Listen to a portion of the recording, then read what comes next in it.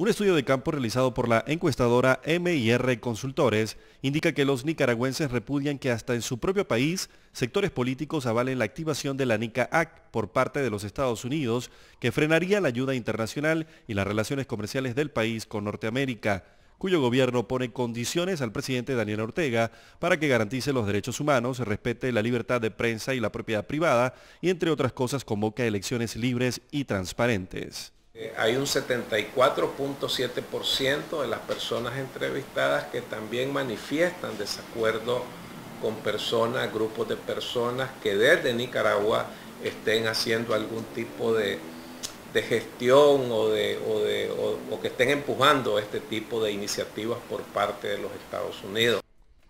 76.7% de los consultados por MIR cree que el NICA Act, un proyecto de ley que condiciona los préstamos de organismos financieros internacionales a Nicaragua, afectaría la paz en ese país, mientras que 70.6% sostiene que perjudica la democracia.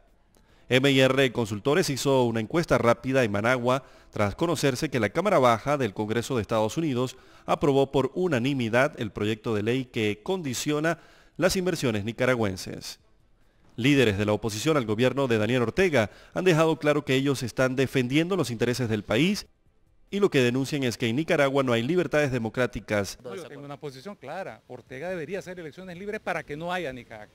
Que yo me reservo el derecho que tengo a recurrir a los organismos y a la comunidad internacional para denunciar lo que está pasando con el régimen dictatorial de Ortega. A mí no me amedrentan las amenazas porque sé también que hay una campaña sucia, calumniosa, eh, agresiva.